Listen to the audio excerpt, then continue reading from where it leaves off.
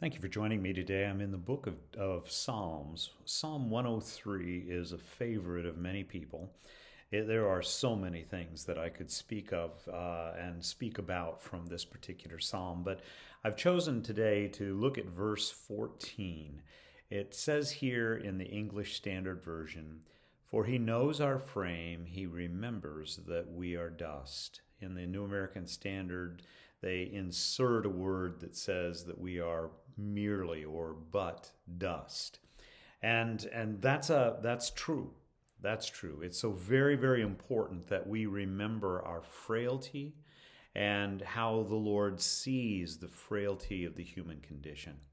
That's what this particular psalm is about. This is one written by David, and it has been a very special psalm in many, many people's lives.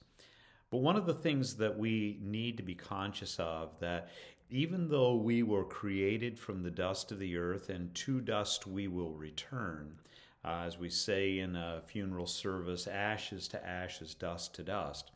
And even though that is true, there is something special about the dust about which we are made or with which we are made. It is a, it is a dust in which God has placed miraculously his own image. And that's so very, very significant. Now, I, I, believe that we need to keep in mind the frailty of our of our condition. I believe that that's what the psalmist here is all about. Um, he remembers that we're not able to do mighty things on our own, but at the same time, we he, the, the the psalmist David here reminds us that we are also some people who are very, very special. For earlier he says, as the Father has compassion on his children, so the Lord has compassion on those who fear him.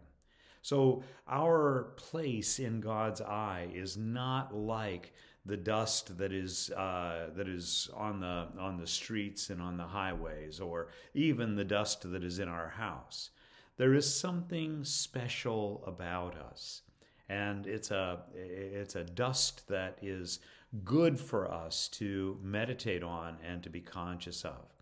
We need to recognize, as the scripture keeps telling us, that He is the one who's in charge.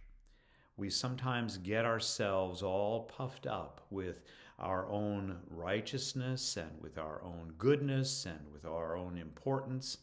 But we need to remember that He's the one who is most important. And that, that all of the accolades that we have, all the wealth that we have, all the talent that we have ultimately comes from Him because He's infused into this dust His own image. And He's made us a living soul, as, uh, as it says in Genesis. So, the important thing here that David is trying to tell us is the is the, is our frailty but combined with that frailty is the importance of who we are. And that's the and that's something that we sometimes lose sight of in this generation. We forget that we have an important um, uh, there's an important quality about us because we're made in the image of god so there are there are a number of things that I could say about this particular uh, in this particular psalm. Of course, the idea of his compassion toward us shows that he recognizes that in this dust that we are, there is something special. He tells us earlier in this particular psalm that we can be uh, dust that is forgiven and healed and those are those are very very good qualities. There is something uh, peaceful about the first few verses of this uh, this psalm, where our dust is able to experience great satisfaction and joy as we serve Him. So I invite you, I encourage you, look at yourself, recognize the who you are. First of all, you were created from dust.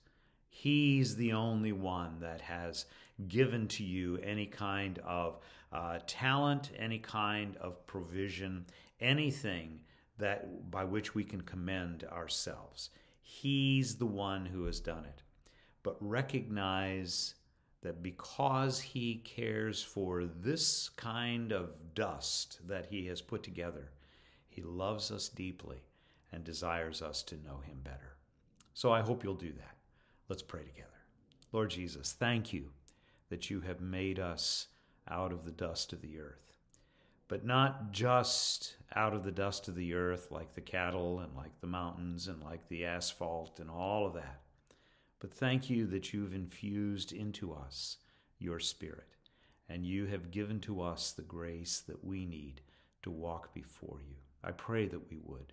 I pray that you would help us to keep in balance our dustiness, but our special relationship that uh, and our special abilities that you've given to us. So help us to hold those tightly and to always be conscious of that balance. In the name of Jesus, we pray. Amen. God bless you. I hope you have a great day.